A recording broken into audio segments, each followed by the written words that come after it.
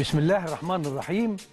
أهلا بكم أعزائي مشاهدي قناة الأهلي أينما كنتم في برنامجكم ملك وكتابه القاعدة والاستثناء واللعب على المشاعر. إبراهيم. أهلا بك يا باشمهندس واهلا بكم أعزائي المشاهدين وموعد يتجدد معكم في لقاء الاثنين من ملك وكتابه الحلقة التي تحمل الرقم 791 تحمل عنوانا واحدا وحية أهلي وأفراحه. الحمد لله على السلامة. الله يسلمك. مبروك. افتقدناك. مبروك. أنا قلت لهم قلت لهم بص عمال باصص لي بسفريه روسيا. ردتها أهو لك. اهو سابني وراح لوحده. برضه إحنا مش كويسين الف الف الف ألف مبروك. الله يخليك. استمتعت. استمتعت لما الماتش انتهى لكن قبل الماتش إحنا كنا التزام صارم جدا. يا دوب خرجنا مرة واحدة. آه، استجابة لدعوة كريمة هحكي لك قصتها. لكن آه، يعني سر اختياري لكلمه أو للدخله دي إن آه، وأنا بفكر كده اكتشفت أن القاعدة أن يفوز الأهلي والاستثناء أن يحدث غير هذا. أما العبث واللعب بالمشاعر إنك عايز تحول الاستثناء إلى قاعدة والقاعدة إلى استثناء مغازلة وعبثا بمشاعر جماهيرك. ده كلام مهم جدا هنيجي لتفاصيل كتيرة منه لكن الحقيقة كان إيه اليوم الحلو ده؟ آه. إيه الناس الحلوة دي؟ الأغنية دي كان ليها كواليس في الاستاد غناها الفنان أحمد سعد بس هو ليها غن- كواليس. آه هو أنا هو هو غناها. آه. وبعدين آه قبل المباراة. قبل المباراة. آه. وبعدين في ال half time فوجئت بيه آه، طالع لي فوق. أها. لي آه، لسه باذن الله التاني وبتاع. ده بين الشوطين بقى. آه بين الشوطين. آه. وبعدين قال لي إيه؟ أصل هم ما كانوش عايزين نغني الأغنية دي. قبل الماتش. الأغنية دي ليها قصة.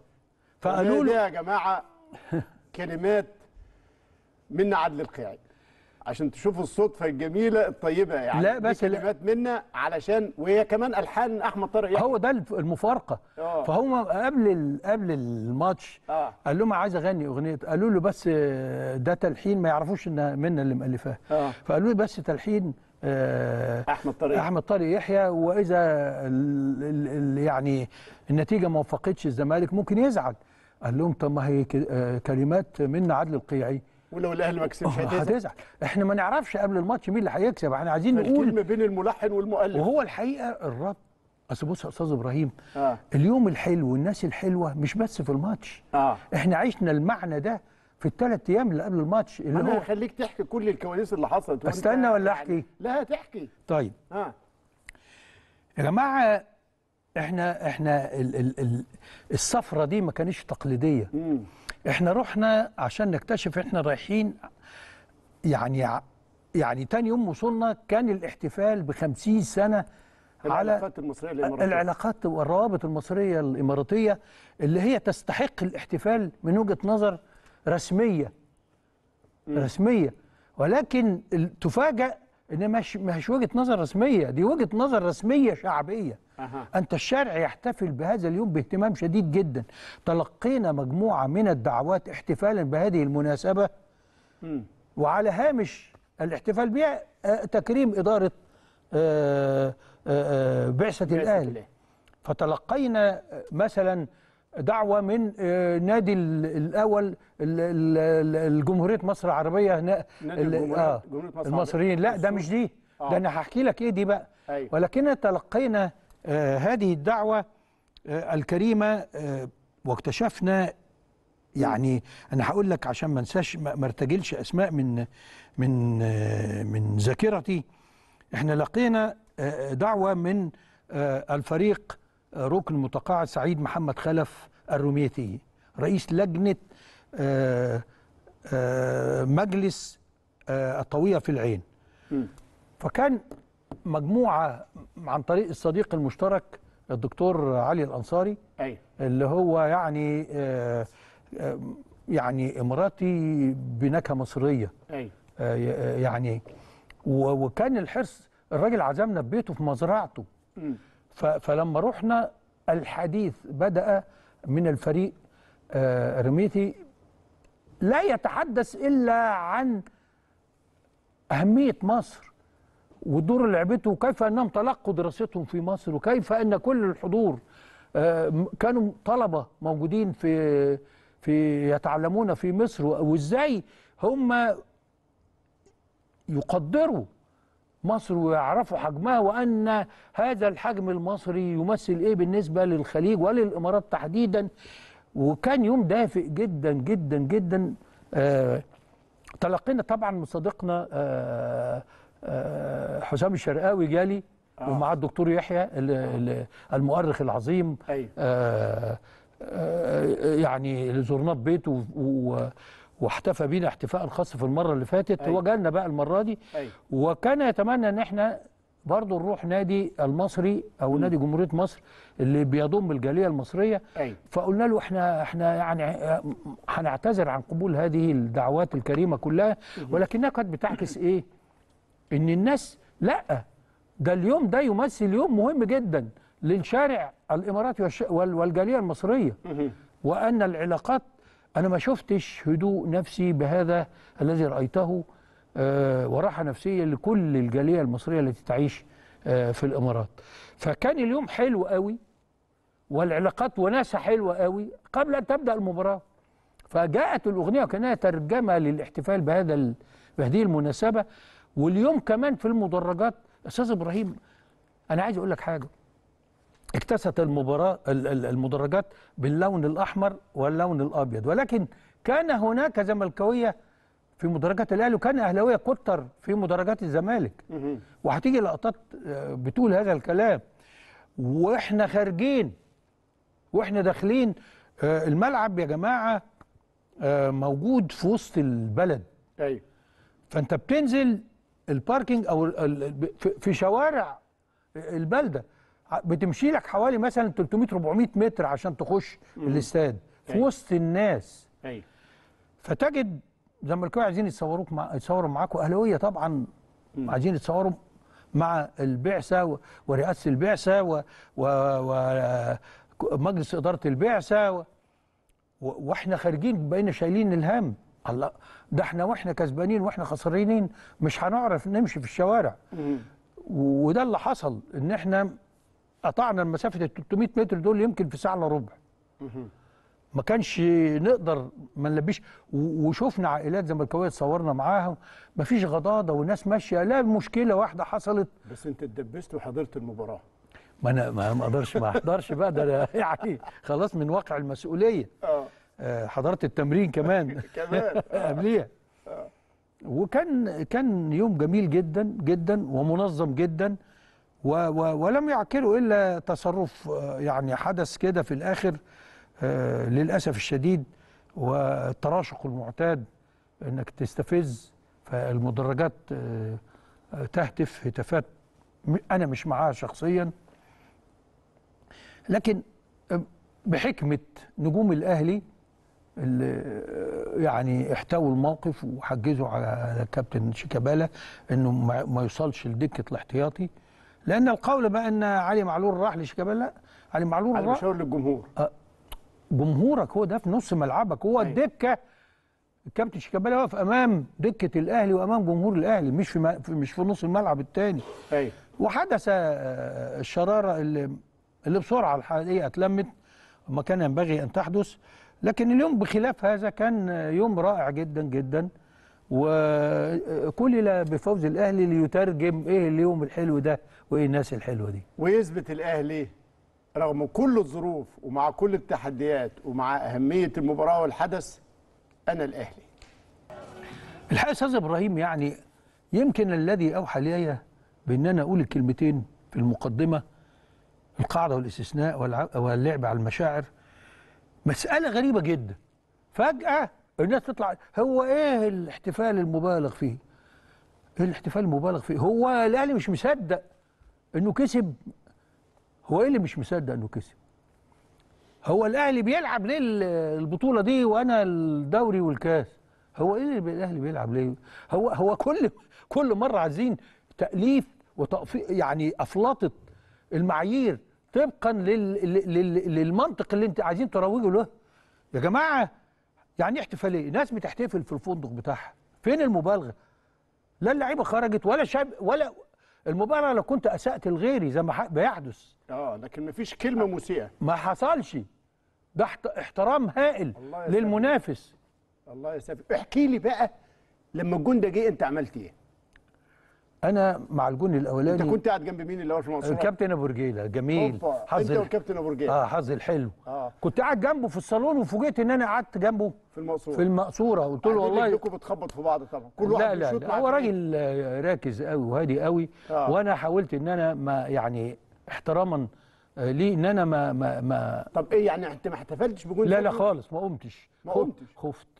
ليه كان؟ خفت. الجول الأولاني دايما يخوفني. إذا ما ضغطتش ببقى آه. خايف لأنه بيديك بيديك الإحساس إنك الله وأنا وأنا الجون البدري ده هيعمل يعني أنت عايز تقول لي صافي يحط الكورة زي كده؟ ما قمتش ولا سقفت ولا هللت ولا عملت زي لا لا بيني وبين؟ نفسي شعرت بهدوء. سقفت من جواك. آه واحترمت إن جنبي الكابتن ابو رجيله حتى الجون الثاني بقى واللي احتفلت بيه لأن آه. كان خلاص الليلة خلصت آه. عملت كده يعني. بس. آه دي يعني آخرتها. شديت على أزر نفسي بإيديا كده. ما قمتش يعني من مكاني. آه الجون, حلو قوي.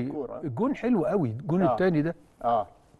لا لا الجون ده وطاهر أنا بعتبره نجم المباراة الحقيقة يعني. وجون ده الترقيصة بتاعت آه، طاهر. طاهر.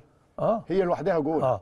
آه، ال- ال- ال- ال- اللي أسعدني طبعا في الجون الأولاني إن برونو كان يتعرض لحملة تفطيس آه. ما هو هو ده اللي بيخليك تفرح.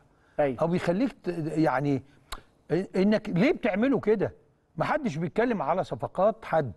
امم لكن- بيقيم حد. إنما مركزين قوي على صفقات الأهلي. مم. تأتي صفقات الأهلي هي اللي تحقق لك آه، آه، السيطرة وال- والفوز. آه، ففرحت لبرونو عشان يعني الناس تسكت شوية تهدى شوية يعني. مم.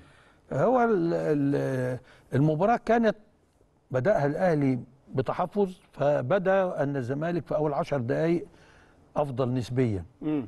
إلى أن ضاعت أول فرصة مم. ها من طاهر مم. من جملة ملعوبة حلوة جدا آه، بدأها عبد القادر ده كده وصول البعثة بالكاس يا جماعة لاستاد مختار التتش تاني يوم الصبح على طول مفيش انتظار وجاي يتمرن على طول. أنا هكلمك على الخواجة مارسيل كولر لأن أنت أكيد رصدت انطباعات كتيرة مهمة عني آه طبعا طبعا. بس بصوا أسرة الكورة العمال والموظفين بتوع قطاع الكورة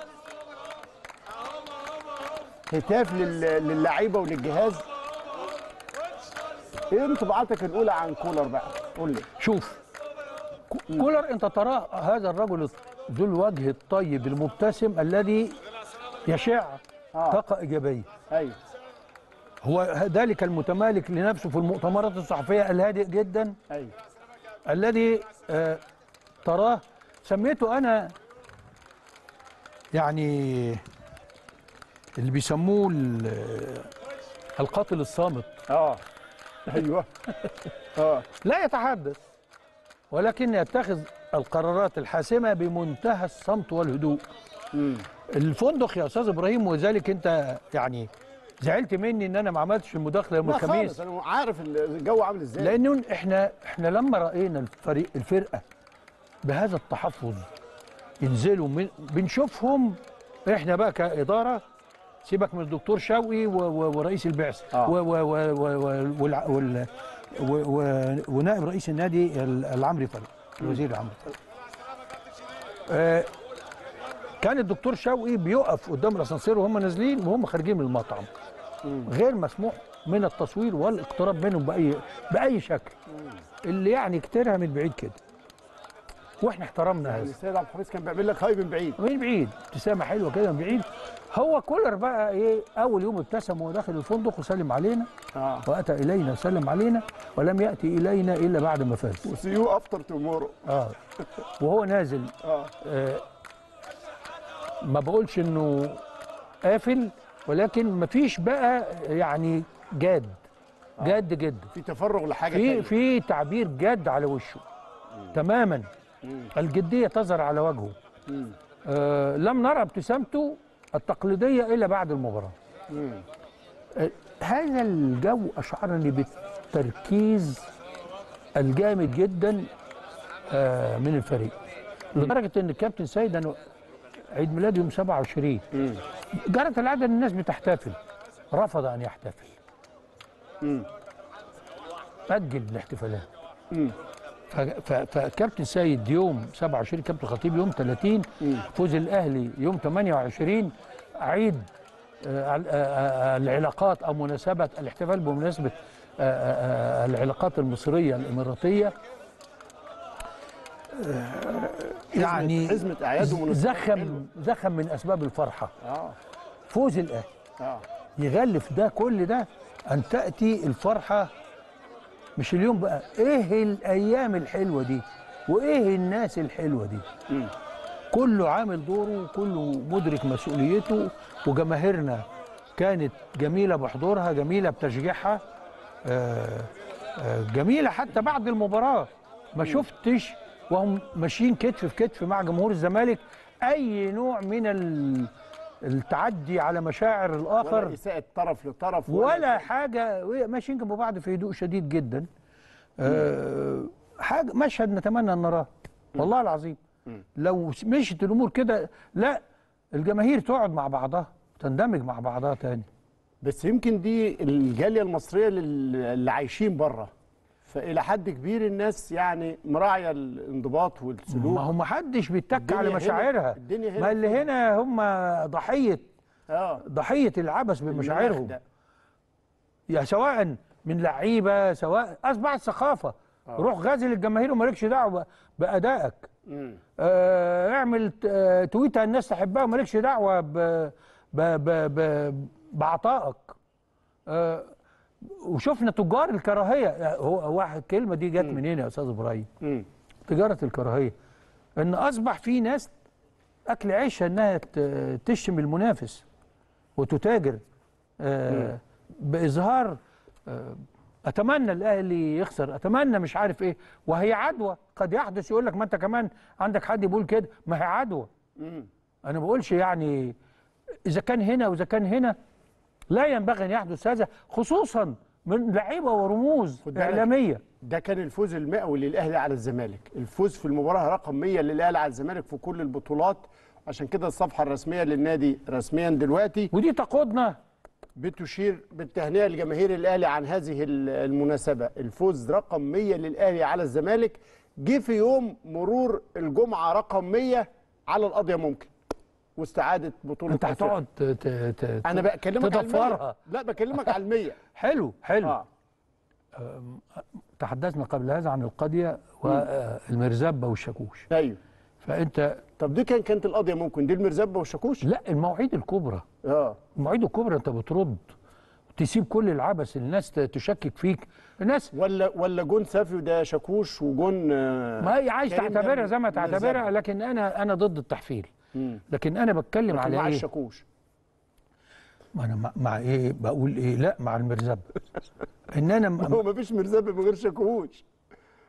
ما هو أنت تقعد تقعد تنقر لي وأنا أجي في المواعيد الكبرى أرد.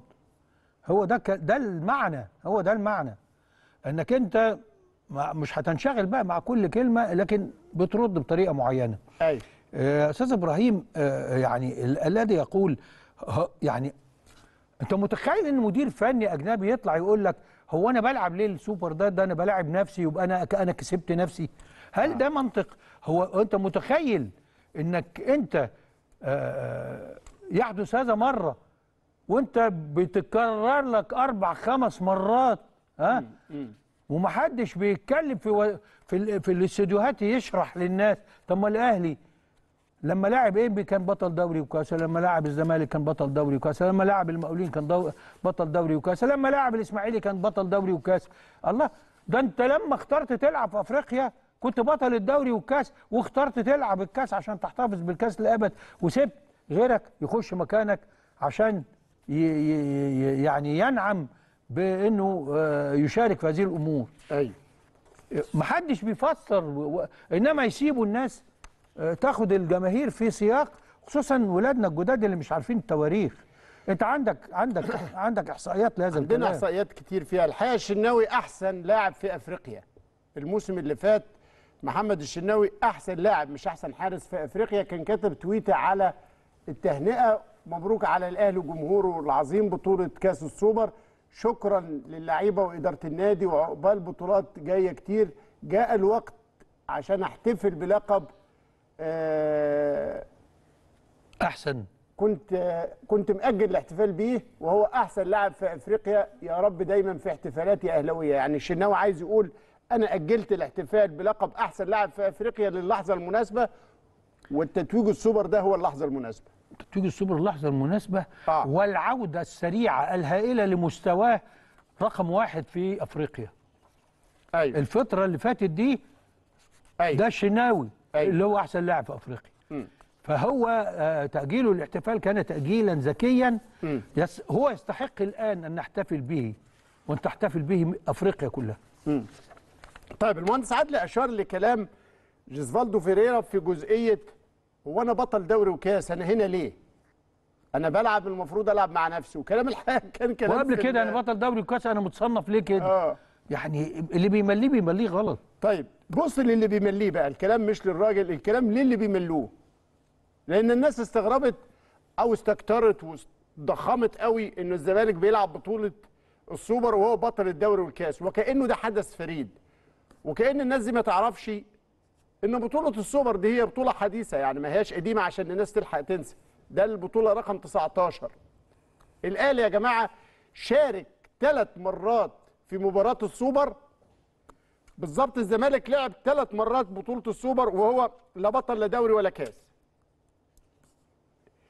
ال- الأهلي شارك 16 مرة في كاس السوبر شارك بطلا للدوري والكاس أربع مرات، يعني في أربع مرات اللي الزمالك عملها الأهلي كان عاملها أربع مرات. بيلعب ماتش السوبر وهو بطل دوري وكاس. الزمالك ما عملهاش أربع مرات. الأهلي عملها أربع مرات. والزمالك شارك ثلاث مرات وهو مش وهو مش بطل حاجة. يعني خلي- سبع مرات أهي. خليني أقول لكم بالنسبة للأهلي لوحده الأهلي شارك في السوبر 16 مرة. مبدئيا اللقب اللي حققه ده كان لقب رقم 12 ثلاث أضعاف الزمالك. ودي النسبة المسموح بيها من محليا. 16 مرة؟ آه دي النسبة المسموح بيها محليا. يعني الدوري ثلاث أضعاف. الأهلي ثلاث أمثال الزمالك. 42 ل 14 كاس السوبر 12 ل 4 فكان اللقب السوبر للأهلي رقم 14 رقم 12 من 16 مشاركة في السوبر. شارك الأهلي فيهم ست أربع مرات وهو بطل للدوري والكاس. يعني الكيس أو الحالة اللي كان فيها الزمالك الأهلي كان فيها أربع مرات قبل كده. بطل للدوري 13 مرة بطلا للكاس مرة واحدة. شارك مرتين بدون بطولة. يعني الأهلي مرتين اتنين فقط لعب ماتش السوبر وما هواش بطل لا دوري ولا كاس. اللي خدهم الزمالك كان واخد الزمالك الدوري فيهم مرتين. الأهلي شارك 10 مرات الزمالك شارك في السوبر 10 مرات. مرتين بطل للدوري والكاس مرتين كان واخد الدوري والكاس. خمس مرات كان واخد الدوري فقط مرتين كان بطل للكاس ولعب ثلاث مرات ماتش السوبر وهو لا بطل لا دوري ولا كاس. ثلاث مرات الزمالك بس حد يشرح الأوضاع دي عشان الناس تفهم. توج فيهم بأربع مرات للسوبر والاهلي توج ب 12 مرة للسوبر. حرس الحدود عنده لقب في السوبر المقاولين عنده مرة وطلائع الجيش عنده لقب. ده كشف حساب السوبر اللي الحقيقة الصحافة المصرية آه، اهتمت بهذا التتويج السوبر. كانت المسألة ليها مردود كبير ربما لأنه وجود الأهلي والزمالك مع بعض مباراة ليها آه، طبيعة جماهيرية عالية جدا. جاية في توقيت كمان احتفاء الإمارات ومصر بال 50 سنة على العلاقات بين الدولتين. التوقيت اللي جاية فيه بداية موسم وفي ترقب شديد جدا والزمالك واخد دوري وكاس. فبالتالي والأهلي عايز يرجع بقوة. المباراة اجتمعت لها باشمهندس كل أسباب القوة والترقب. وكل أسباب الاحتفال. آه. كلمة ترقب دي توضح لك هو أنا فرقتي السنة دي عاملة إزاي. امم فانت لما بدأت المشوار الإفريقي اديت نفس حلو. أيوه ولما شفت أداء المدرب وأسلوبه وكلامه في المؤتمرات والصمت هذا نفس. القاتل ال- القاتل الصامت. المبتسم القاتل. آه, آه, آه ف آه، ادالك نفس تاني حلو. آه. كل بقى كان يقول لك إيه أصل دي مش اختبارات. أيوه. الاختبار الحقيقي الاتحاد. المنستيري ده مش اللي اختبار. عمل لهذه المباراة إن هي اختبار حقيقي. يبنى عليه وعلى نتائجه الإعلام آه. وتصدر للسوشيال ميديا وتعمق في جماهير الناديين آه. لدرجة إن لأول مرة لعيبة ونقاد يخرجوا عن تحفظاتهم ويراهنوا هذا الرهان الأحادي. الزمالك سيلتهم الاهلي م- لا بصوا على الأداء م- من بداية الموسم ولا بصوا على ماذا يحدث للأهلي إن ظروفه اختلفت عن نهايته في في نهاية الموسم وإن ده بدا بدأ آه، بتاع والأهلي يتعرض كمان مش بس كده هو ما عملش اللي تعالى صفقات ليه؟ ما هو الصفقات ما هياش مسابقة أيوه طب هو الصفقات دي كمان هتنفع ولا مش هتنفع؟ مع إن بقى بمعيار الصفقات التي حصل عليها المنافس ما المنافس حصل على لعيبة صغيرة في السن أيوة. الأهلي حصل على لعيبة صغيرة في السن.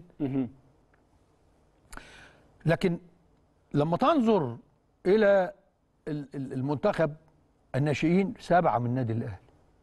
لما تنظر إلى منتخب ال ال ال الأولمبي ثلاثة ثمانية دلوقتي المنتخب الأولمبي ثمانية ثمانية من النادي الأهلي. آه، طيب عايزين إيه؟ يعني عايزين نقول لكم يعني هو في أحسن من كده؟ يعني آه انت بتراهن على المستقبل وبتراهن برضه على الصعوبات اللي, انت شايف انها قد تحدث في المستقبل. انك انت كل ما تيجي تاخد لعيب دلوقتي الم- المغالاه الشديده جدا لو انتظرت ان يتحول إلى نجم خارج النادي الاهلي خده وعيره ويبقى نجم وانت لك الحق عليه. الحقيقة في في الحديث حتى على النجم هي مباراة أسقطت الكثير من الإشاعات اللي سبقتها كان في صور نمطية كتير البعض حاول تصديرها وتثبيتها وترسيخها منها مثلا مقولة إن جوزفالدو فيريرا ده ال- البروفيسور اللي بتاع المواعيد الكبيرة ده اللي ما بيخرش المية ده البروف. شفتوا تفوق مارسيل كولر عامل إزاي؟ ناس كتيرة آه، آه، اتهمت صفقات الأهلي الأهلي ما جابش صفقات الزمالك جاب صفقات الأهلي لعيبته ما أعرفش إيه طلع الراجل نفسه مارسيل كولر كذب كل ده. الناس كانت بتتهم إن الإدارة كانت بخيلة في الصرف على الفريق وما جابتش. طلب. طلع الراجل قال أنا اللي طلبت. وحتى الناس اللي قالت أصل الصفقة البرازيلية فشلت عشان اتسربت وعشان مش عارف نادي مصر دخل غاله والأهلي ما رضيش يكمل عشان مش عايز يدفع فلوس. الراجل طلع كذب كل الكلام ده وقال لك أنا اللي طلبت. وقلت نستنى. أنا مش مضغوط. أتفرج براحتي وأختار براحتي على الفترة الجاية لما أقيم الأمور.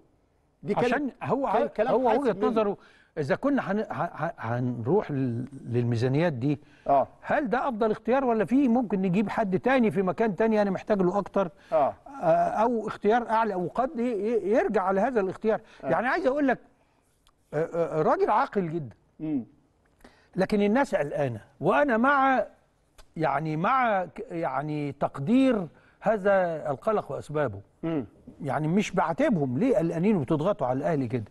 لكن ارجو إن- يعني إن ده يكون برضو ما حدث أحد أسباب الثقة أكتر في الإدارة وإنها والله بتحاول إنها تمشي بتأخذ بالأسباب الموضوعية والعلمية دون أن تنزلق إن أنا حفل آه، كإدارة على الإدارة الأخرى. ما هو ما هو في إدارات دلوقتي التحفيل مش بس على السوشيال ميديا ده في إدارات بتحفل على بعضها. فإحنا مش هن... ما بننزلقش للحتة دي. وأرجو الا ننزلق يوما إلى هذا الأمر يعني. هنتحمل ومش أنا أنا بتكلم على الإدارة يعني. آه آه و- ومش ضروري نشرح كل حاجة بتتقال وإلا يبقى أنت كتاب مقروء جدا. ما يا جماعة أحيانا الصمت هو اللي بينجح. صحيح. مش أحيانا ده عاده. صحيح. آه لأنك ما بت... ما بتتطوعش تدي معلومات للمنافس اللي قدام. بس باختصار. آه الحمد لله النتيجة التي تحققت آه يبنى عليها يبنى عليها. أنا بس إيه عايز أنبه وأعتقد إن دي مش فايتة على المدرب وجهازه الفني وجهازه واللعيبة اللي مؤكد خدت دروس من الماضي إن أول مباراة بعد انتصار على هذا المستوى بخاف منها. يعني ماتش الداخلية يا جماعة فكروا بجدية جدا جدا. هنرجع مؤكد للتفاصيل عن مباراة الداخلية والاستعداد ليها لكن ولما نيجي نتكلم على اللعيبة عندي كلمتين لأن في حاضر. ناس عايزة تاخد حقها. حاضر. لكن بحجم الترقب وبحجم, كل الأهمية اللي سبقت هذه المباراة نشوف المردود الصحفي والإعلامي في مصر والدول العربية عن مباراة السوبر. هنشوف هذا التقرير الصوتي ومنه إلى فاصل وبعد الفاصل نتواصل. أهلا بحضراتكم من جديد. ما تخافش على الأهلي طول ما الأهلي وراه وجواه رموز بتحبه وبتعشقه وبتخلص له وبتتف... وبتتفانى في حبه وخدمته. ما تخافش على الأهلي طول ما الأهلي صفة إنكار الذات وصفة تقديم النادي على كل المصالح وفكره تعظيم قيمة الأهلي على أي اعتبار ووضع مصلحة الأهلي فوق الجميع من أبنائه ما تخافش على الأهلي. أفراح الأهلي متواصلة والحقيقة يعني جاية مع بعضها في الوقت اللي الأهلي بيحتفل بيه بالسوبر الأفريقي في الوقت اللي الأهلي بيحتفل فيه بتدشين مرحلة جديدة لفريق جديد ودي النقطة المهمة جدا اللي, بتعكس حجم الاهتمام والزخم الكبير اللي حوالين هذه المباراة. بيتواكب احتفال الكابتن محمود الخطيب برمز النادي ورئيسه بعيد ميلاده. الكل بيحتفل بعيد الكابتن محمود الخطيب واللي تواكب أيضا مع عيد ميلاد الكابتن سيد عبد الحفيظ قبلها بيوم واللي جاية الحقيقة في اطار كتير من عظماء الكرة مواليد أكتوبر وده يمكن يعكس ده شهر خصب كرويا ولا إيه؟ خصب كرويا وأنا عايز أدي أ- هقول لك حاجة آه. يعني إحنا كنا عايشين باستمرار على علاقة الكابتن صالح مع اللعيبة المنافسين أيوة. وزي هم كانوا يكونوا له كل احترام. اتصل بيا قبل السفر. وأثناء السفر الكابتن مصطفى رياض آه وكان يعني شديد الايه الحرص على إني والنبي يا كابتن عدلي أنا مش عارف أتصل بالكابتن. انت ما بتكلموش انقل له آه يعني آه سؤالي عنه. آه آه وكلمني ثلاث مرات. ويعني أنا من هنا أنقل للكابتن الخطيب مرة منهم عشان يقول لي كل سنة وهو طيب ومرتين عشان يطمئن على صحته. صحته. ودي بتعكس مصطفى كابتن رياض. الخطيب راح باريس على طول من دبي.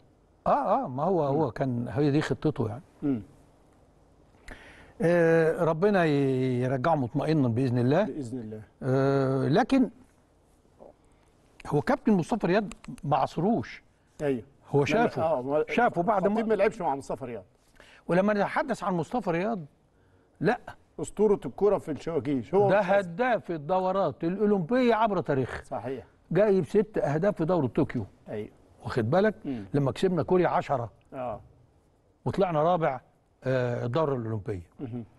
ف, ف آه، أنا ح- حبيت إن أنا أنقل رسالة على الهواء عشان اطمن الكابتن مصطفى إني وصلتها. الحقيقة كابتن الخطيب في عيد ميلاده بنقول له كل سنة وأنت طيب يا كابتن. ومرحلة ال- العلاقة بين الكابتن محمود الخطيب والكرة انتهت مع اعتزاله اللعب في ديسمبر 88 بعد مسيرة حافلة بالعطاء والفن ال- الاهداف الحقيقة اللي فعلا كتير منها ما يسجلهوش إلا لاعب بموهبة الكابتن محمود الخطيب. لكن على الصعيد الإداري لأن هي دي هي دي النقطة اللي دلوقتي اللي شغالة. الخطيب أسطورة في الكورة بس الخطيب مش عارف اتفرجوا على حجم الإنجازات اللي بتحصل في الإدارة. اتفرجوا على حجم ال- ال- ال- ال- القفزات الكبيرة في النادي الأهلي رياضيا وانشائيا واقتصاديا. شوفوا حقوق رعاية النادي تعظمت كم مرة. شوفوا الانضباط الإداري والمالي في النادي الأهلي اللي أشاد بيه أو سجل الشهادة شوف اللمسة اللي بالهد دي. النائب. العام نفسه. وهو بيجري. أهداف محمود الخطيب الإدارية مش أقل من روعة هذه الأهداف الفنية اللي أنتم شايفينها في الملاعب. علاقة الكابتن الخطيب بالجماهير علاقة يعني وصفها الكابتن ميم الشربيني ربنا يشفيه ويعافيه بأنه أشهر مشاهير الكرة المصرية في تاريخها. لكن على الصعيد الإداري حتى في النادي الأهلي كابتن محمود الخطيب عنده رقم مميز جدا. إنه عمره ما عرض نفسه على الجمعية العمومية للنادي الأهلي إلا ونجح باعلى الأصوات. من أول انتخابات 88 لغاية انتخابات 2021 سبع انتخابات خاضها الكابتن محمود الخطيب في توثيق صلته بالجمعية العمومية للنادي الأهلي اختارته رقم واحد في أعلى الأصوات على كل المناصب. كمان هو يمكن بيجمع مع الكابتن حسن حمدي إن هم الوحيدين في تاريخ النادي اللي شغلوا كل مقاعد مجلس الإدارة. عضو وأمين صندوق ونائب رئيس ورئيس. يعني الكابتن صالح كان مرة عضو ثم رئيس نادي ما مرش لا بأمانة الصندوق ولا بالوكيل. لكن رؤساء النادي فقط اللي شغلوا كل المقاعد في المجلس كان الكابتن حسن حمدي والكابتن محمود الخطيب وزاد الخطيب إنه طلع الأول في كل انتخابات خاضها. ده بيعكس حجم الثقة بينه وبين الجمعية العمومية نفس الثقة اللي بينه وبين جماهير لا، الأهلي وكمان اللي رفعته دايما على أعناقها. بيعكس كمان يا أستاذ إبراهيم حجم الخبرات اللي تكرست عنده أيوة. من ممارسته لكل هذه المناصب. أيوه. يعني يعني كل منصب له اعبائه صحيح. ومسؤولياته وهو أيوة. كان حط عليها بقى أيوة. عضوا بلجنة الكرة عضوا دائما وفاعلا. آه. فمسألة سخافة إن إحنا نقعد نناقش جدارته الإدارية يعني عيب عيب يعني ده لا شوف بقى ال- ال- ال- الخبز يعني هو بعد ما يقول لك ده لا ما هو أسطورة في الكورة أسطورة في الكورة بس الإدارة. دلوقتي بدأ يضرب إيه؟ مين قال إن هو اسطوره الكورة؟ لا ده في أساطير تانية. وكأن الأسطورة لقب واحد. لا ده عايزين يضربوه بأساطير لم تحقق آه، أي شيء. يعني آه. يعني يعني لمجرد إنك أنت تحط شعبية قدام شعبية. يعني اللي أنا عايز أقوله هو ما كل واحد يفرح بأسطورته. صحيح. لكن ليه المقارنة؟ أصل المقارنة دي مش إحنا اللي بنعملها. دي حاجة موجودة خلاص مترسخة في الشارع. هي دي القيمه آه. على فكرة القيمة مش مصرية بس حتى عربيا وخارجيا بعض نجوم الكرة العربية والأفريقية سجلوا كلمات تهنئة للكابتن محمود الخطيب في عيد ميلاده. سلام يا خطيب. الناس الناس الناس هنا تصوروش مشاعرها قد محمود الخطيب.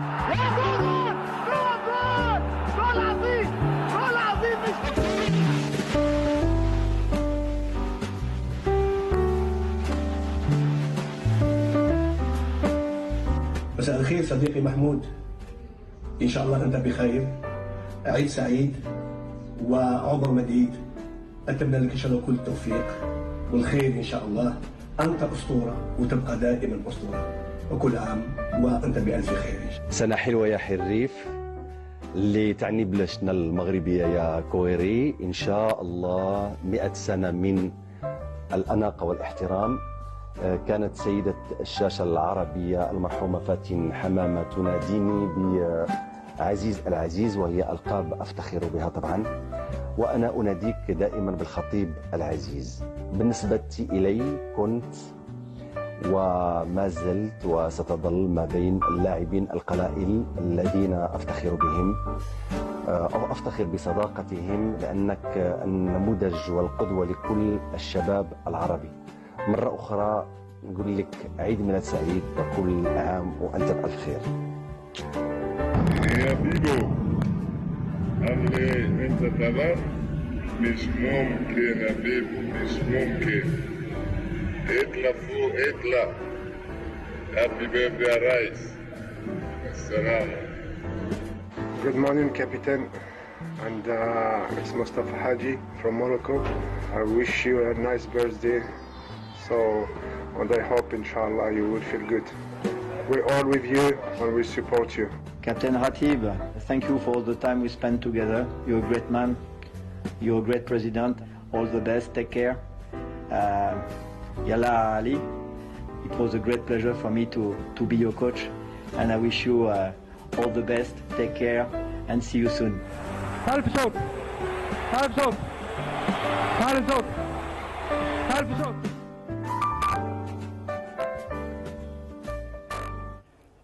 عندما تأتي ال- الإشادة بالخطيب كأسطورة من الأساطير؟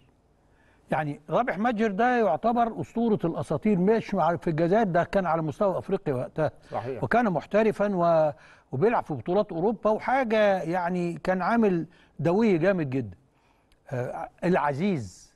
بودربال. عزيز بدربالة حبيبنا وهو أنا شخصيا نجمي المفضل في الكرة المغربية. صحيح. ما ما فيش أجمل من كده أداء. أيوه. آه مصطفى حجي واحد من الناس ال- ال- المغاربه الجمال. آه اسطوره الاثنين دول أساطير. صحيح. مع عمو التيمومي الثلاثه دول يتحطوا في حتة لوحديهم. أيوه.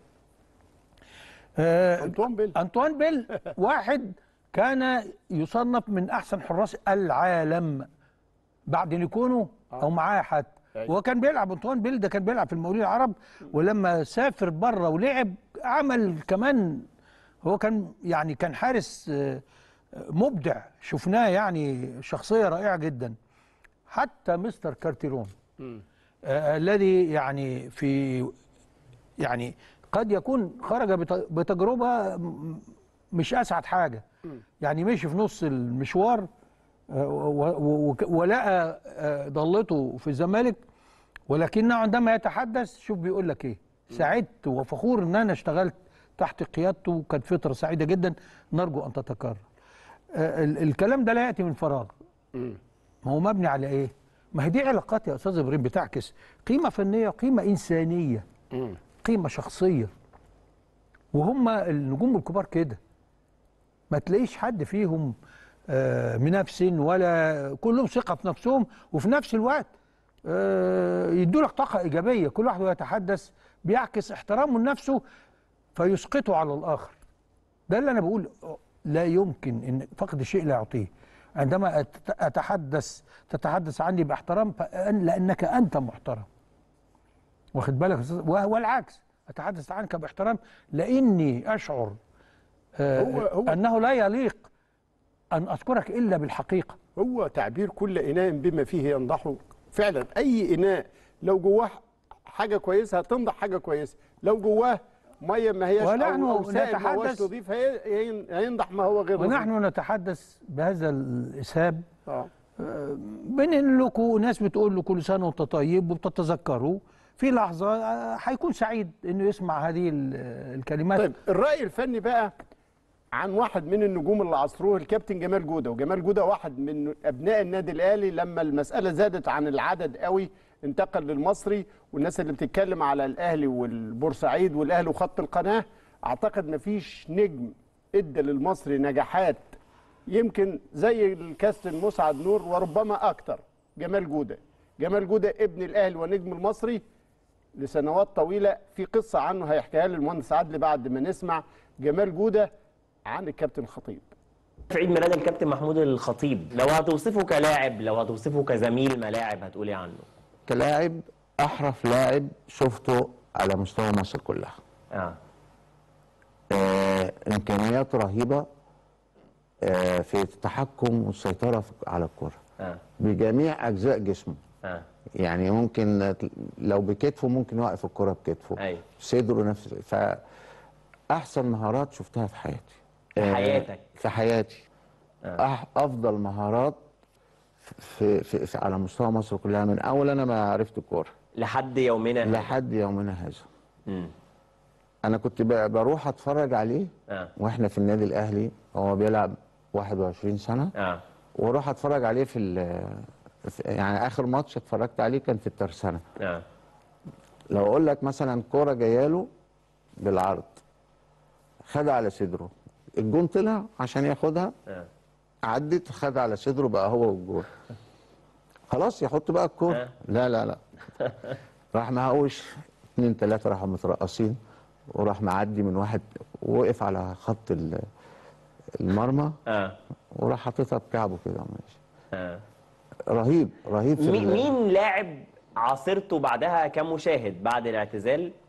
حسيت إنه في من الخطيب أو الله فكرتني بالخطيب.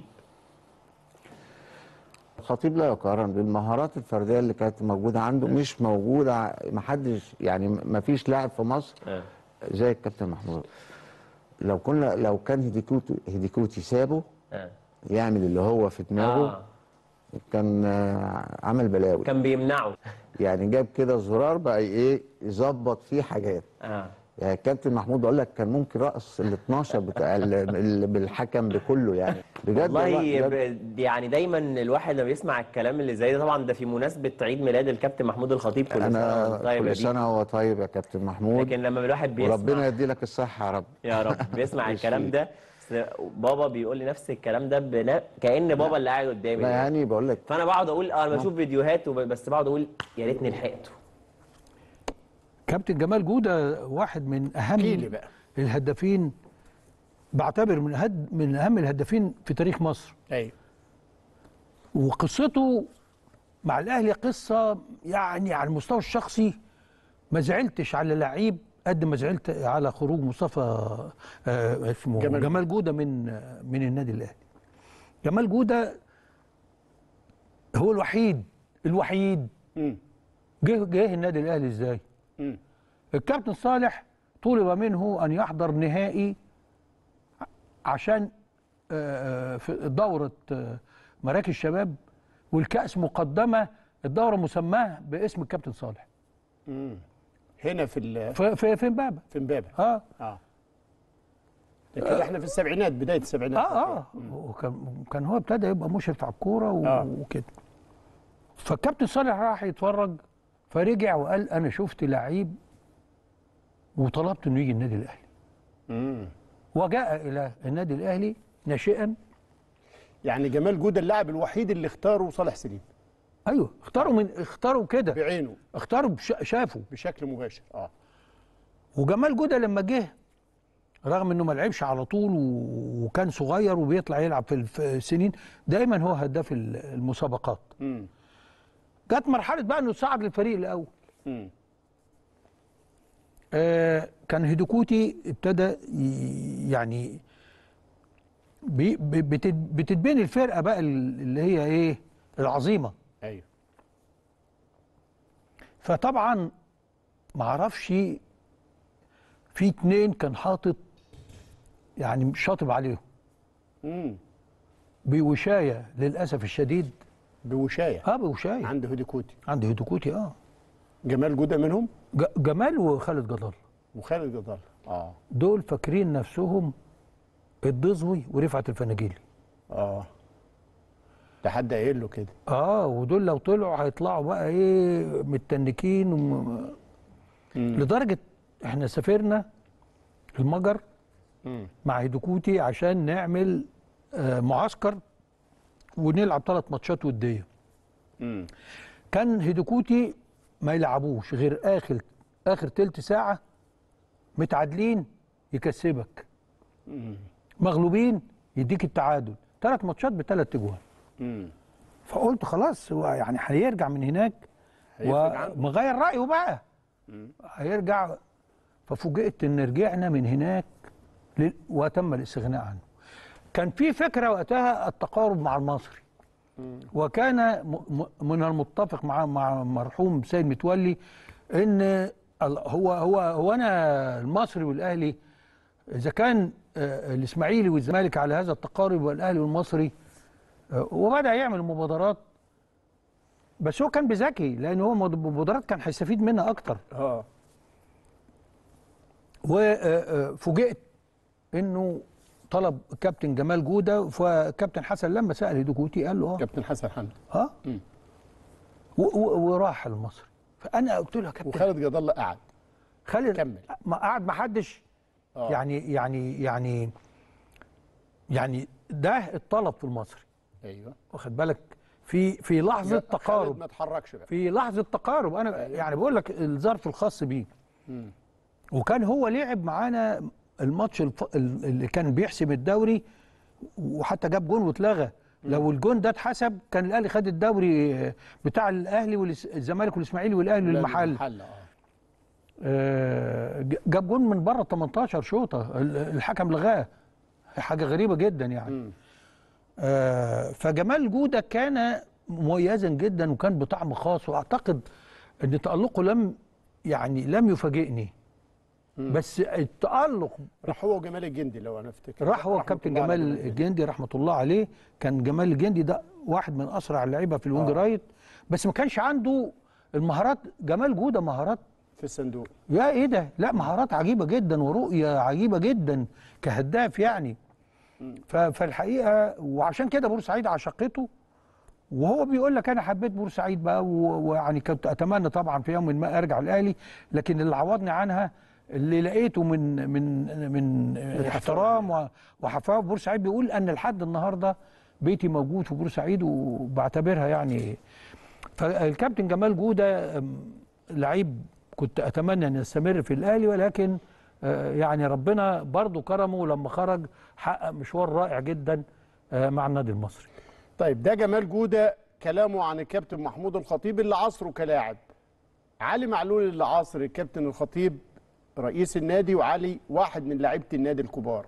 نشوف رايه اللي يلعب في النادي الأهلي يعرف قيمة البطولات يعرف إنه في فريق اليوم ما كسب بطولة بكرة يطوي الصفحة وعنده بطولة أخرى. يعني حاجة تخليك يعني تطلع في ال- ال- ال level تعدي level تاني مع يعني النظام وال system النظام هو لا لا، هنا كل حاجة ماشية ب- ب- بمبادئ وفي نظام وفي system معين ما ينفعش تعديه. فكل حاجة ما شاء الله يعني آه، مظبوطة في النادي الأهلي وجود رئيس النادي معاكم خاصة في المباريات المهمة إيه إيه إيه أهمية هالموضوع؟ لا هو الكابتن محمود الخطيب هو أسطورة من أساطير الكرة المصرية يعني آه، تاريخ كبير ورمز من رموز الكرة المصرية رئيس يعني خلافا على الكرة هو رئيس عنده شخصية عنده الهيبة بتاعه وعنده احترامه يعرف يختار التوقيت ال- الصحيح مش يجي يتكلم مع اللاعبين. نعرفه الفترة اللي كانت فيها كلام كثير على رئيس النادي لكن هو دايما رده يكون بالنسبة للاعبين إنه الرد يكون في الميدان. وهذا أحسن جواب تنجم تقدمه للعباد اللي تتكلم على كابتن محمود خطيب هو من الشخصيات المحترمة أنا فرحان ومبسوط إني تعاملت مع رئيس نادي كما كابتن محمود خطيب اللي نهدي له اللقب هذايا بعد السنة اللي تعب فيها برشا. آه، لقينا برشا نقد لكن هو كان محترم وكان ملتزم وهذه هي شخصية النادي الأهلي اللي هو يمثلها يعني. أهمية الكلام ده في السؤالين اللي يبدو فيهم بساطة لكن مهمين جدا. لعمق آه، آه، النتائج اللي تتوصل إليها لما تحصل على الإجابة. كابتن علي معلول يراه أسطورة طبعا من أساطير الكرة شأنه شأن ناس كتير جدا. ولكنه قال ولكنه يتجاوز هذا الأمر كقائد. يعني أشار بوضوح إلى قيمته القيادية. أيوه وان يعني دي أحد أسباب آه، يعني ال- ال- ال- الحميمية اللي بينه وبين اللعيبة. سماته الق- القيادية والكلام اللي بيقوله لهم عشان يقول لهم ما تردوش على حد إلا في الملعب. فطبعا لما بيشير النادي الأهلي إنه منظم والقيادة بهذا المعنى كل دي معاني جميلة جدا وفيها صدق بدليل إن علي معلول موجود لحد النهارده آه، ويتمنى أن يستمر إلى الاعتزال يعني. ده كان كلام مهم. كل سنة وانت طيب يا كابتن بيبو كل سنة وانت في موفور الصحة والسعادة. كابتن الخطيب طلع من دبي على باريس يستكمل رحلته العلاجية ويشوف توصيات وتعليمات الأطباء والبرنامج العلاجي له ويرجع بعدها إن شاء الله في أحسن حال. هنطلع لفاصل وبعد الفاصل نتواصل. أهلا بحضراتكم من جديد. ما تخافش على الأهلي ابدا طول ما الأهلي وراه هذا الجمهور الكبير. الكبير بجد. الكبير في سلوكه والكبير في انتمائه والكبير في إخلاصه والكبير في وعيه والكبير في إدراكه لمسؤولياته والكبير في وحدته ولحمته. على فكرة وحدة جماهير الأهلي وردها على أي محاولات لهز هذا الصرح العملاق الكبير اللي يجب يجب أن يفخر به كل مصر وكل عربي. شفنا الفخر لدى الأشقاء العرب وزهوهم بقيمة الأهلي. أحد ال- الأصدقاء الأهلوية الأستاذ علاء علي مدير أحد الفنادق هو عبر بشعره المرهف عن الجمهور والأهلي وما يتعرض له الأهلي. فبعت لي قصيدة صغ- صغيرة بعنوان لن نسمح أبداً جميلة. فبيقول لن نسمح ابدا لن نسمح بوقيعة وفتنة أن تنجح. فهناك من يزعم صدقا والصدق مريض يترنح. يأتينا مساء ينقدني وامام الآخر يتنحنح. يختلق الخطأ ولا خطأ ويصر عليه ويتبجح. وامام الآخر كالقط يتقرب منه ويتمسح.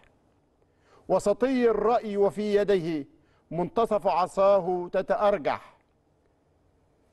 فهمنا ووعينا الدرس. فابعد عن بيتي لن تنجح.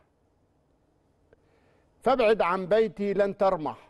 قسما بالله لو اجتمعوا على هدم بنائي لن يفلح. فأساس البيت هنا ثابت. هيهات جداري يتزحزح. جميل جدا. وبيوصف آه، فعلا علاقة الجمهور بالأهلي. وأنا أشكر كل هؤلاء الذين سعوا إلى تخريب العلاقة مع النادي الأهلي إلى درجة السفور. بقوا مكشوفين قوي. آه. عندما رآهم الجمهور على حقيقتهم كشفهم وكسفهم. لا استطاع النادي الأهلي أن يعني يستمتع باحتواء ثقة الجماهير آه، مرة أخرى. من أكبر الفترات التي تلاحم فيها الجمهور في في صيحة واحدة.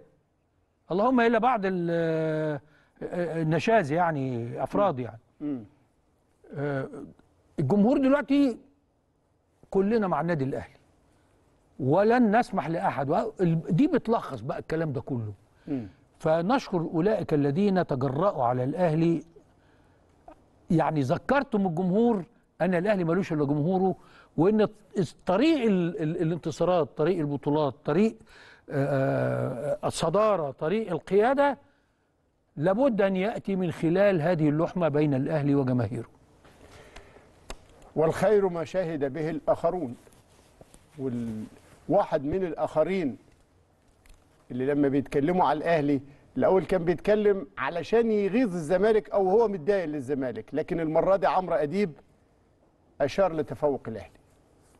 كان في حد بيكلمني يعني بيقول لي أصل روح النادي. قلت له لا دي مش روح النادي الأهلي إنما دي لياقة النادي الأهلي ودي خطة النادي الأهلي وده جمهور النادي الأهلي الأهلي النهارده كان في لياقة كان في نفس كان في إصرار كان في عزيمة كان في انتحارية اللعيبة بتلعب بشكل انتحاري ويمكن الأجيال الجديدة اللي ما تعرفش التعبير ده عن الزمالك كان في تعبير اسمه العتولة اللي هم العتاولة الزمالك يعني.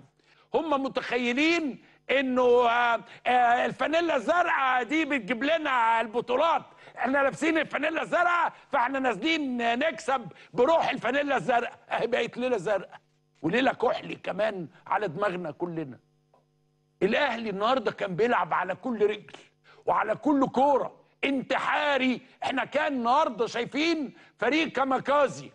كاميكازي يعني بيخش على كل كورة بيخش على كل لعبة. بيل بي بيلعب على الزمالك في كل مكان بيشترك في كل كورة. انما الزمالك كان بيلعب بشركه وسكينة. اللي تعب النهارده هو الأهلي. الأهلي لغاية آخر لحظة لغاية أما نزل قفشة وشريف بيلعبوا 10 على 10 اللعيبة كلها صح. اللعيبة كلها بتلعب في مراكزها صح.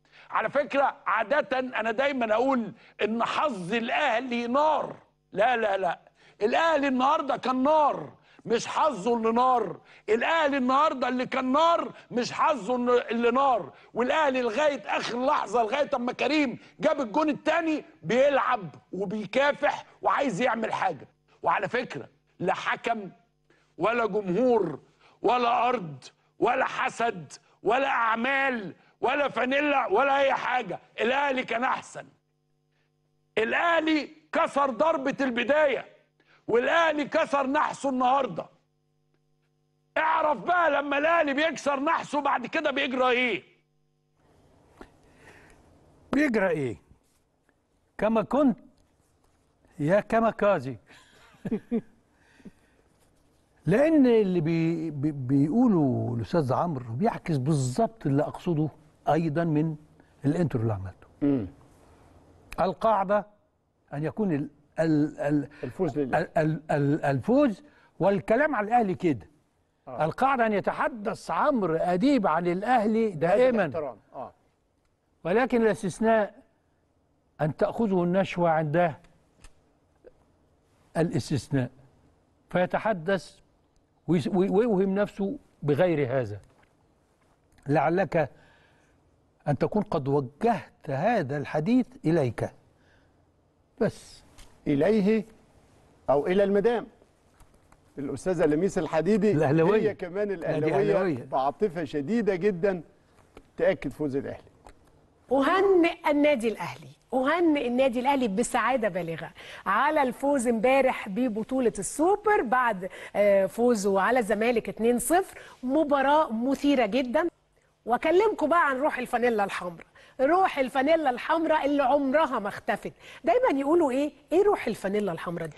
روح الفانيلا الحمراء دي اللي ظهرت امبارح إنك تاكل الأرض أكل عشان تكسب. وعشان عارف إن جمهورك زعلان أو متضايق أو محتاجك إنك تكسب. فتاكل الأرض أكل. هو دي روح الفانيلا الحمراء. إنك لا تيأس. لا تيأس حتى الدقيقة 90 دايما يقولوا إيه مش الأهلي بتاع الدقيقة 90 والأهلي ده حظ. ده مش حظ. ده مجهود. ده تعب. ده مبدأ.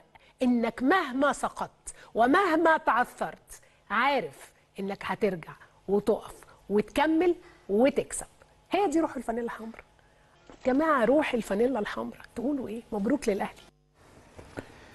يعني هو قالت الكلام بس بطريقة تانية. بطريقة بقى ال- ال- المشاعر الصادقة اللي بتحب الأهلي هي. دايما بإذن الله تسعدي وتروحي بقى تشوفي بقى إيه؟ هتعملي معاه إيه؟ طيب الحقيقة يمكن بمناسبة أعياد ال- ال- ال- الميلاد في أكتوبر الصديق محمد أبو النصر أحد أعضاء السفارة المصرية في تونس اللي كانوا احتفوا بالأهلي في مباراة الاتحاد المنستيري بعت لي رسالة قال لي أنا كان يوم عيد ميلادي يوم فوز الأهلي بالسوبر وده كان أسعد آه، تهنئة يقدمها لي الأهلي. كل سنة وكل أعياد كل أصحاب أعياد الميلاد في هذه الأفراح في أحسن صحة وحال. لكن على ذكر بقى تفاعل الجنس الناعم مع الانتصارات والكورة الفنانة الكبيرة شهيرة بالزميل مهيب عبد الهادي. مهيب معاها رضا عبد العال فواضح إن الكلام مش عاجبها. هي عايزة تسمع كلمتين حلوين عن الأهلي. هي فرحانة جدا وسعيدة جدا بانتصارات الأهلي ومش قادرة تسمع كلمة حلوة. فاتصلت بيهم نسمعها. ألف ألف مبروك و... والحمد لله إن يعني حققنا الفوز ده لأن الفوز ده هيخلينا يعني آه، نفتح بقى ونرجع كما كنا ونرجع للبطولات. ولا إيه يا كابتن رضا؟ أيوه مع النهارده المفتاح يا فنان. النهارده بداية مساء ال... الخير يا كابتن رضا. مهيب قاعد من الصبح عمال يترجاك تقول حاجة تقول حاجة. ما أنا قلت والله يا. فنان والله بطلع منه الكلمة بالعافية. والله ما حضرتك إيه؟ اهلاويه وخلي بالك إن أنا زملكاوي برضه يعني الواحد برضه زعلان يعني. لأن أنا قلت الكلام ده وحذرت وقلت إن الراجل ده هتتصدموا فيه قريب. الراجل ده والله العظيم يعني فكر فكر قديم. واهو بي الكلام بيتحقق. ماشي يا كابتن إحنا ما قلناش حاجة. انت قول على فكره زي ما انت عايز بس برضو تدي للأهلي النهارده يعني حقه. آه انت قلت ان هو يعني آه ما- بس ما قلتش ان هو كان الأحسن. لا كان لا هو هو ما كانش. الأحسن. لا الأهلي ولا الزمالك كانوا في أحسن حالاتهم. هو بس النادي عندي الأهلي عندي اقتناع بحاجة وحضرتك بس إيه هنتكلم مع بعض والكابتن رضا معانا.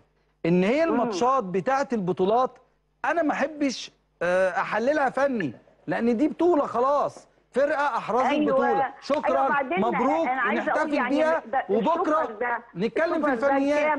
طب كنت قلت لي للأهلي؟ بكرة. ال لا. 12 ال 12 يا كابتن ال 12 وده أيوة. الفوز رقم 100 للأهلي على الزمالك يا كابتن. آه. يعني النهارده يوم تاريخي. يا فنانة. أيوه يا يا فنانة رضا، ألف خليك مليون حلو يا مبروك والله. إحنا ألف مليون مبروك. عشان خاطر حضرتك أيوة. الأهلي يستاهل البطولة بدون أي نفاق ولا رياء. ليه؟ لأنه كان الأعلى الأعلى تكتيكيا الأعلى تنظيميا. فبقول. مبروك لحضرتك والجماهير النادي الأهلي وكل أعضائه. و... وإن شاء الله أنا قلت دي بداية النجاح وده بداية البطولات للنادي الأهلي. إن إن شاء الله. الحقيقة عفتنا الفنانة شهيرة اللي وحشت جمهورها. أيوه آه عن الحديث. قالت يعني أنت اللي بتتحاور هو حضرتك أو يعني كانت حي... كان هو هيمشي في المضمون ده. إحنا كسبنا وبجدارة افرح للأهلي. ما ت- مش وقت آه، آه، تقليل من انتصاراته لكن هي كده ما هيعمل إيه؟ يعني يعني هو وغيره اللي يعني اللي راهنوا على خسارة الأهلي. خلاص. ده في حد يا راجل؟ أقول لك إيه بس اللي يقول هبطل لعب واللي يقول لك هحلق شعري واللي يقول لك مش عارف هعمل إيه. ومحدش بيعمل حاجة. هعتزل. واللي يحلف بالطلاق واللي خ... خ... ما فيش حاجة. هلوسه هلوسه لا ما يعني تفكرهم بالكلام ده يقول لك انت إيه يا راجل أنت بتاخدنا على ما انت بتصدقنا كلام. تاخدها بجد. كلام. لا حول الله. نطلع لفاصل وبعد الفاصل شهادات تانية مهمة عن الأهلي والسوبر. أهلا بحضراتكم من جديد. ما تخافش على الأهلي طول ما الأهلي سفير متميز لبلاده ولوطنه ولمجتمعه في الخارج. أعتقد اللي حصل من ردود أفعال في الإمارات تدعو للفخر بقيمة الأهلي.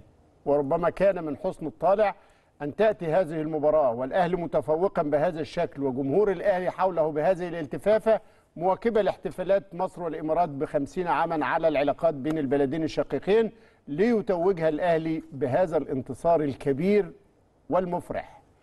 وكانت الاحتفائية المبهجة من قناة أبو ظبي الرياضية. اللي الحقيقة حازت على آه، أفئدة الجماهير الأهلوية في كل عموم البلاد والوطن العربي كله وكانت شهادة من هذه التغطية وهذه الرسالة الكبيرة من أبو ظبي الرياضية لواقع إعلامنا الرياضي المخجل جدا. يعقوب السعدي معاه الحاوي في أول ظهور له بالبدلة والكرافته وليد سليمان مع يعقوب السعدي في استوديو أبو ظبي. نشوفه وليد مع زيارتك للفريق أمس حسيت إن إن لا إن الفريق راجع؟ وحسيته إزاي؟ من خلال إيه؟ التركيز والقفلة بتاعت الراجل للأمانة آه، يعني كان حاجة جديدة بالنسبة لل- للفرقة. زي ما قلت لحضرتك في في الاستوديو إن الحاجة دي كانت غايبة عن النادي الأهلي. آه، تقريبا كانت من من أيام مستر مانويل جوزيه. لكن ده كان كان باين يعني التركيز والقفلة والراجل مركز مع اللعيبة وفي لعيبة بيتعامل معاها نفسيا. ويمكن آه، قفشة يقول الموضوع ده الراجل بيتعامل آه، أدار الماتش كويس جدا وكان محضر كويس جدا جدا للماتش وبدأنا الماتش كويس جدا ونهينا الماتش كويس جدا. حاجة تحسب للراجل إن هو كان محضر الماتش حاجة كويسة يعني. وليد إيه اهم حاجة عجبت ع- ع- عجبك في الماتش النهارده؟ ال- الروح والالتزام وال- والشكل. يعني الشكل كان بصراحة باين جدا الالتزام والخطوط وتنفيذ أكيد اللي طلب منهم من من من بسطتني جدا. زائد الروح. الروح كانت عالية جدا وفي رغبة. يعني من- ثلاث أربع ماتشات عدوا كده آه، حسيت إن يعني إيه ال- ال- حتة الرغبة دي بعيدة شوية. لكن ماتش النهارده في في رغبة في إثبات للذات في رغبة آه، بيقولوا للجمهور لا إحنا ال- السنة اللي فاتت أكيد البطولة دي من بطولة من بطولات السنة اللي فاتت ما نطلعش موسم من غير بطولة. كل ده كان إثبات للجمهور ان ان إن اللعيبة عندها رغبة وعايزة تثبت للجمهور إن هي ما بتأثرش في حاجة. هي طبعا عدم توفيق آه، الفترة اللي فاتت لكن هم أثبتوا إن النهارده عند حسن ظن آه، المسؤولين وعند حسن ظن الجمهور وهم يستاهلوا بصراحة يعني لعيبة رجالة. طيب وليد سليمان حاسس باللعيبة الرجالة وحاسس بدور مستر مارسيل كولر وقيادته للفريق. في نفس الاستوديو الزميل خالد بيومي شايف مارسيل كولر إزاي؟ لأنه في كلام مهم عند المهندس عادل عليه. نشوف خالد بيومي الأول. كابتن خالد بيومي مين نجم المباراة النهارده؟ مارسيل كولر. واحد؟ من نجوم المباراة. ليه؟ لأنه حضر فرقته صح؟ بص عشان تخ- تخش لجماهير قلوب الأهلي أو الزمالك أسرع حاجة هو الماتش بتاع بتاع القمة. اتنين النهارده دخلوا قلوب الأهلي ال- الجمهور الأهلاوي. سافيو؟ سافيو وكولر. ومارسيل كولر سافيو أحرز هدف غير من رتم المباراة وغير كمان إن تخش أوضة اللبس وأنت كسبان 1-0 دي نواحي نفسية عالية طبعا. جدا جدا لعيبة النادي الأهلي في مباراة القمة خصوصا إن ال game أو الكلام كله كان إن الزمالك أفوق من النادي الأهلي. إنما أنا وجهة نظر هذا الرجل مارسيل كولر. اولا في التعامل الفني أثناء المباراة في تحضيره اللعيبة في الشكل البدني في تغييراته اللي عملها بتغيير بعض المراكز. أنا قلت لك يمكن 4 4 2 ولكن 4 2 3 1 بس كان مترحل قفشة لقدام في بعض الوقت. ولكن هي 4 2 3 1 اللي مصر عليها. تغيير سافيو سافيو وتغيير أحمد عبد القادر نزول آآ آآ خروج طاهر محمد طاهر بعد كده. وكريم وكريم فؤاد نزل عمل تغييرات نشط بيها. ولكن هو الأهلي طبعا انتشاره كان أفضل من الشوط الأولاني. تصميمه كمان على لعيبه نص الملعب في تبادل في تبادل المراكز بينهم الاثنين إذا كان حمدي أو السولية حمدي كان اخد دور الستة الارتكاز النهارده أكثر من رائع. ما حسيناش بغياب ديانج. الالتزام الكبير من علي معلول ومن أكرم توفيق. أوقات تلاقيهم قدام وأوقات الاثنين تلاقيهم تحت دفاعيا. قلبين الدفاع عبد المنعم ومحمود متولي. محمود متولي جاي من إصابة بقاله ثلاث سنين. لم يصل لهذا المستوى غير مع مارسيل كولر في خمس مباريات لأنه اداله وثبته. فبالتالي عملية التحضير من تحت للنادي الأهلي دي نقطة من النقاط الإيجابية. مع فكرة تنويع اللعب وكمان توزيع الجهد طوال 90 دقيقة وانت لسه في بداية سيزون أنا شايف إن دي هو نجم المباراة مارسيل كولر. ولكن في النهاية لعيبة الأهلي كل ما الوقت اتأخر في عدم إحراز أهداف للزمالك كل ما كسبوا ثقه وكل ما دخلوا في ال game أكتر وكل ما بقوا متوحشين أكتر في الملعب. والدليل أنت في آخر في الدقيقه 90 الأهلي جاب جول جاب جول من جملة جملة تكتيكيه فنية تحسب لمارسيل كولر. ليه؟ لأنه التغييرات اللي عملها كان لها دور كبير جدا في التأثير على المباراة. علشان كده لما نيجي ندي مارسيل كولر حق ندي له حق. طيب دي قناة أبو ظبي ودي وجهات نظر المحللين فيها. وجهة نظرك في كولر واللي أنت شفته؟ شوف آه، ناس كتير عمالة تقارن بين كولر وجوسيه وعايزين نقول يا جماعة بطلوا مقارنة بجوسيه شوية لأن جوسيه قعد مدة عمل فيها كل حاجة في ظروف ك- كنتائج يعني. آه إنما أنا عايز هو يذكرني بحد مهم جدا جدا جدا.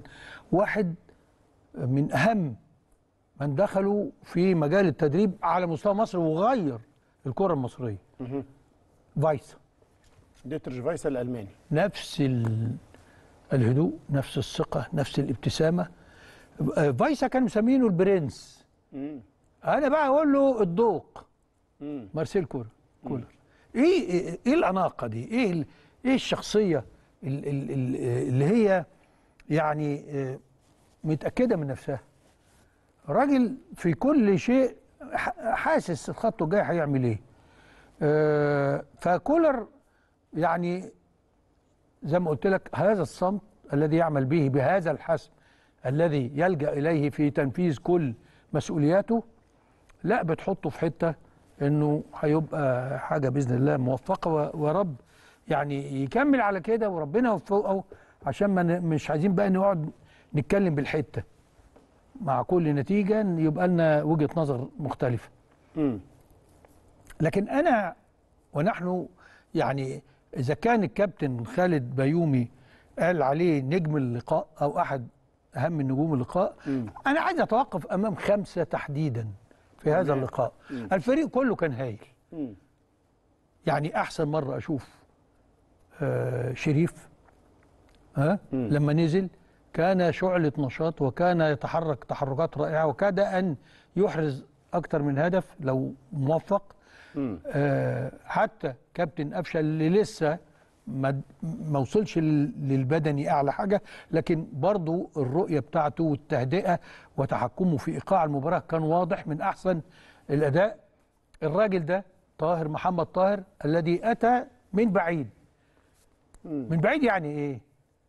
يعني الجمهور ضغط عليه جدا السنة اللي فاتت.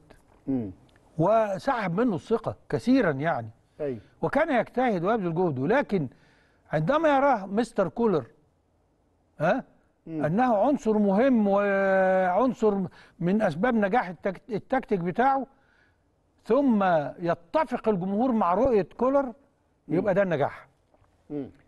النجاح اللي يخليه يبدع. يعني الترقيصه اللي فاتت دي ده ابداع يعني هو كولر ده مزاج. ممكن ممكن كولر يقول له العب العب بالعرضية. اتحرك بالطريقة الفلانية. عايزك تكون موجود هنا وهنا. حجم التحركات هو وحمدي فتحي آه اللي اتحركوها في الملعب رهيب. انت يعني الأولاني وقفت عند لا حمدي ح... مش هتوقف أمامه لأنه اداني اللي أنا متوقعه منه. مم. إنما أنا هتوقف عن ثلاثة بقى مع الاثنين اللي قلتهم دول. محمود بتولي. أك... ده ثالث موسم له. يعني في نفس الظروف الصعبة بتاعت محمد محمود. اللي أتمنى برضو إنه يرجع بهذه العودة القوية لمحمود متولي عندما تسنح له الفرصة. وأتمنى إنه ياخد من النموذج ده دافع وثقة إن أنا كمان أقدر. في يعني يكسب من الوقت اللي هو بعيد فيه عن الملعب إنه يرجع بأحسن شكل.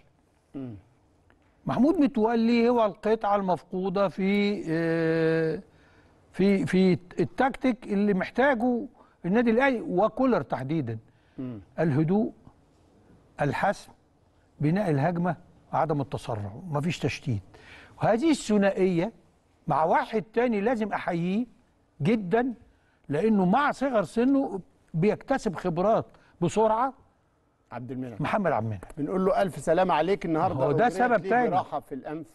ده سبب تاني. آه. انه هو الراجل ده متعور ويتحامل ويلعب بدون واقع وكلنا مشفقين يعني ده ده وده- عن لعب بشجاعه لعب بهدوء لعب بثقة.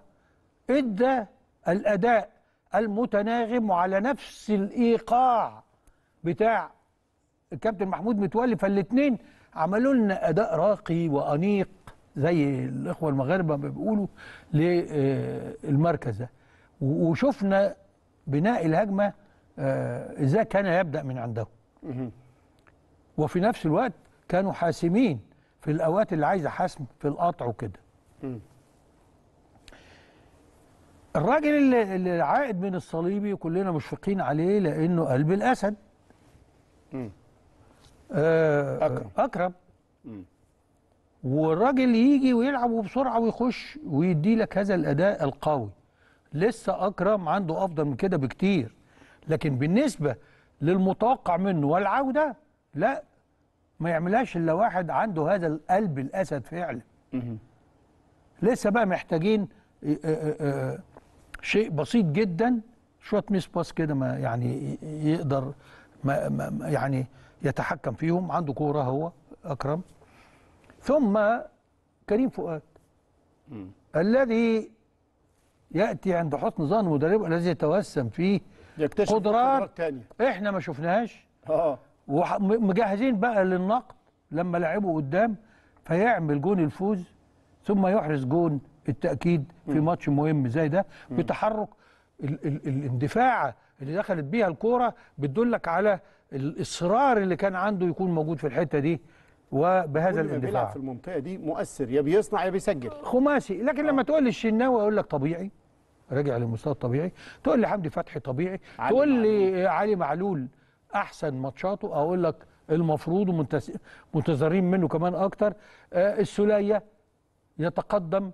لا ده السولية السولية بقى عايز تفهم السولية وقيمته لما نزل آه شيكابالا كابتن شيكابالا. تنبأ بكل تحركاته وقطع كل الكور اللي هو كان آه يعني هيلجأ إليه عشان يشكل خطورة. هذه العودة السريعة الحاسمة آه لا لازم يتقال له برافو لأن أنت مش مكتمل اللياقة لكن مكتمل الرغبة مكتمل الالتزام التكتيكي. ولما يتقال لك خلي بالك هو لعبته بيعمل كذا كذا كذا قدرت تتعامل في تايم في توقيت آه آه رائع جدا. أنا أنا شايف إن إن إن كولر فعلا يستحق الاشاده لأنه عرف يوظف كل الناس دي. بالطريقة اللي هي آه يعني تكون لصالح الفريق. أتمنى بإذن الله آه، طبعا في نزل دقيقه ودقيقتين وربع ساعة وخمس دقائق محدش وبتاع، ما نقدرش. سبب آه، الصورة الحلوة قوي إنه ما حدش أثر فعلا. كل لا حتى ما نقدرش. نقيم يعني ما يعني أنا مش هعتبر فخري وتاو وبتاع مش عارف الكلام ده ما يعني ما فيش وقت. لا هم يعني نالوا شرف المشاركة. المشاركة. آه، وإحنا برضو في انتظار تاو لكن تاو أنا شفت بقى لقطة آه، أنا انبسطت إيه حجم السعادة والرقص اللي رقصه الراجل ده والتفاعل والاندماج. أنا قلت جت فترة حسيت انه منعزل. واخد بعضه كده على جنب.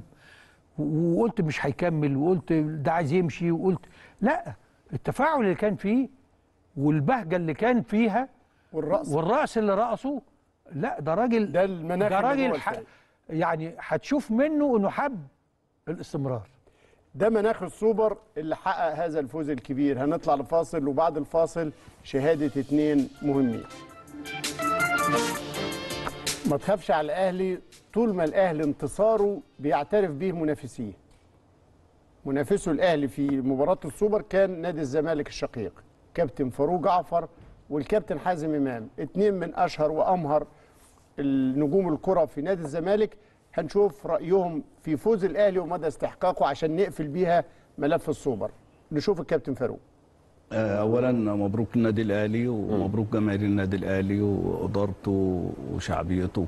يمكن النهارده كان في حد من لعيبة النادي الأهلي بيتكلم على التحضير للمباراة هل التحضير كان فني ولا تكتيكي ولا لا؟ التحضير النهارده لل- لل- للنادي الأهلي كان تحضير معنوي ونفسي إن إزاي اللعيبة ترجع للحالة ويمكن كل اللعيبة اتكلمت إن إزاي يرجعوا للحالة النفسية والمعنوية بتاعتهم ويستعدوا للمباراة وهم خدوا راحة وإزاي إن إدارة النادي الأهلي بدأت تشتغل معاهم على حتة ال- الحس بتاع إن أنت تبقى مقاتل في الملعب تبقى عندك طموح إن أنت آه، بتلاعب المنافس بتاعك بشكل في في قوة في استقرار ذهني ومعنوي. الكرة بتعرف اللي بيركز.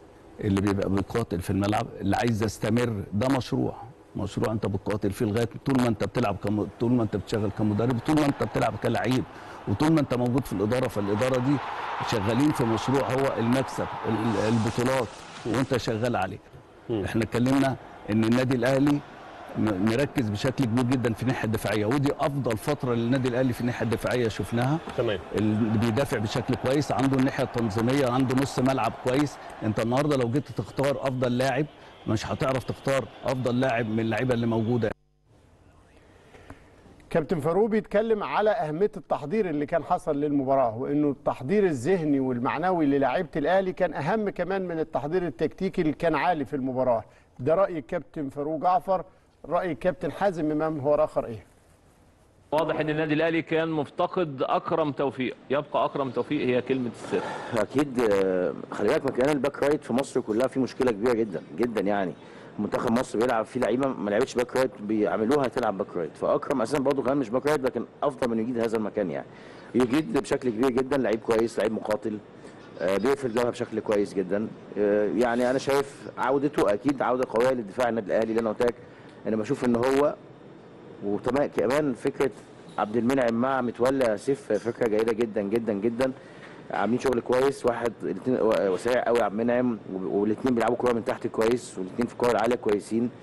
آه، مع مع أكرم ناحية اليمين قوة بدنية كبيرة جدا. الحتة دي مقفولة بشكل كويس. دفاعيا الأهلي أحسن بكتير من السنة اللي فاتت واللي قبليها.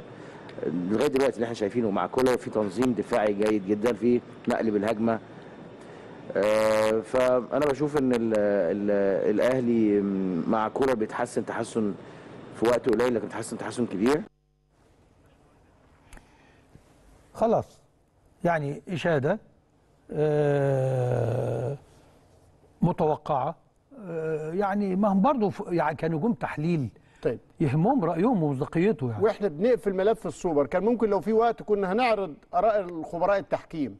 كابتن الشناوي والكابتن سمير عثمان الاثنين أجمعوا على إنه للأهلي ضربة جزاء مستحقة لحمدي فتحي ضربتين يا إبراهيم. الكابتن جهاد جريشة أنا بكلمك لدول اللي قالوا على ضربة جزاء. كابتن جهاد جريشة أكد صحة ضربة جزاء كانت مستحقة لعلي معلول. ففي ضربتين جزاء بتاعت عواد. باتفاق آه. لأنه رافع رجله ورافص باتفاق ما خبراء حد بص بسرعة كده. ما حدش يقول لي أصله مسك الكورة.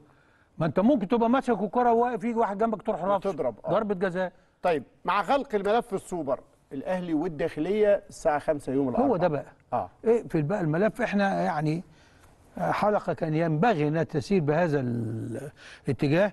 ولكن الماتش اللي جاي يا جماعة كلنا مدركين وهو قال كده كولر. قال خلاص بقى انسوا فرحنا سبتكم يوم تفرحوا. ارجعوا بقى على أرض الواقع. وهو كولر منتظر منه تحدي آخر ان عنده ثلاث نواقص مهمين. يعني ديانج, ديانج مستمر مستمر غيابه. محمد عبد المنعم عمل عملية النهارده نتمنى يعني عودته سريعا. وطاهر موقوف وطاهر موقوف والثلاثه مهمين ومؤثرين. آه برضو عندنا شغف نشوف هيحل ال- ال- ال- ال- الكعبله دي إزاي. مم. آه عنده عنده الأدوات؟ آه عنده الأدوات. ديانج خلاص هو عنده حمدي فتحي والسوليه ما هو يعني مش طب ما هو يجوز يوظف حمدي بطريقة تانية نظرا للغياب. يعني عايز أقول لك إيه؟ عايز أشوف الشغف بقى دلوقتي واحد بيلعبك شطرنج. انت مستني تشوف النقلة الجاية ده إيه تأهيل ديانج اهو. آه. هو ورامي ربيعه فاحنا إحنا بنتعامل مع كولر ده دلوقتي انه أستاذ شطرنج. آه. مستنيين منه النقلة الجاية. آه. آه. طيب الأهلي والداخلية الساعة 5 مع غلق هذا الملف وبعديها هيتوقف الدوري. فترة ال ال الإعداد بقى في خلال فترة التوقف. هتبقى فرصة لعلاج. ديانج يستكمل برنامجه العلاجي. وطاهر يرجع من الإيقاف بعديها على طول. وعبد المنعم النهارده عمل عملية في عظمة الأنف. إن شاء الله ياسر إبراهيم جاهز وأيمن أشرف جاهز لا ومغربي. البدائل موجودة. آه. إنما آه، آه، نحن نتحدث إن الإيقاع وال- وال- والتناوب كان آه، موجود. بإذن الله يحصل. أصل أنت معاك لعيبة كبيرة كل دول لعيبة دوليين يا مم. أستاذ إبراهيم. وحتى غياب آه، طاهر المفروض بيرسي تاو وحسين الشحات. عندك عندك القماشة بسم الله ما شاء الله واسعة. فالمهم بقى إيه إن ال- اللي ينزل يوريني إنه إيه اللي اتغير فيه. ده كان كلام مهم جدا للعيبة وللجمهور لأنه التتويج بالسوبر كان تدشين لمرحلة جديدة. مرحلة يستعيد فيها الأهلي قوته وعافيته وشراسته وكبريائه إن شاء الله. دمتم للأهلي دائما. ودام لكم الأهلي بإذن الله تعالى بطلا سوبر شامخا. وعلى خير نلتقي في العاشرة مساء الخميس القادم إن شاء الله. تصبحوا على خير.